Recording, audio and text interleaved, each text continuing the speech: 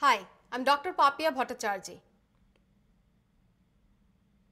In this problem, we have to evaluate this definite integral and we have to use the integration tables in Appendix C.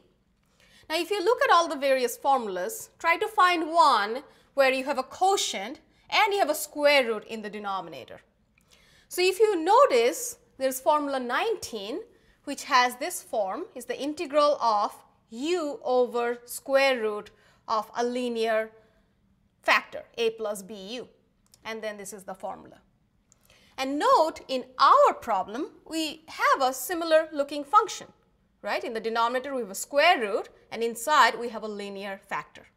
So we might be able to apply formula 19 to solve this problem. Well the indefinite integral and then we have to plug in the limits to evaluate the definite integral.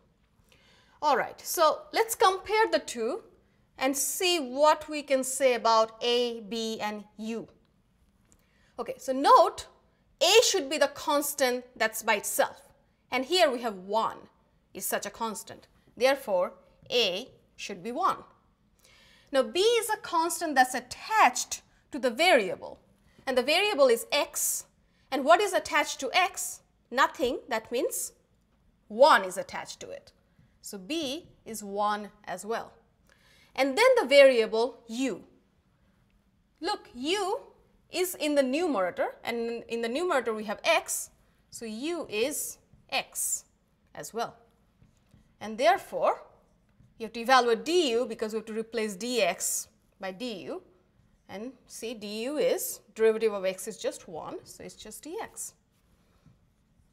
All right. So, we can write x to be u, dx to be du.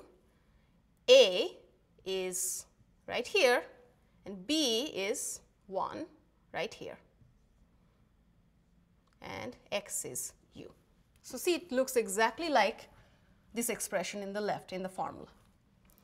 And so, we can just apply the formula and write it down here. So, what we will have is negative 2 times 2a and a is 1. So, 2 times 1 minus b u, b is 1 and u is just x. Divide the whole thing by 3 times b square, b is 1 again and then this is multiplied by the square root a plus bu. So, 1 plus b times u is just x. Now, we should write plus c if it was uh, an indefinite integral, but this is not. This is just a definite integral. So, this is our antiderivative and then we have to evaluate this at 1 and 0. Okay. Let's simplify this first. So, what we have here is negative 2 and inside here you have 2 minus x over 3. So, 1 square is 1, square root 1 plus x and then evaluate at 1 and 0. So, plug in 1 first for x and then we will plug in 0. So let's see, negative 2 third 2 minus 1 square root 1 plus 1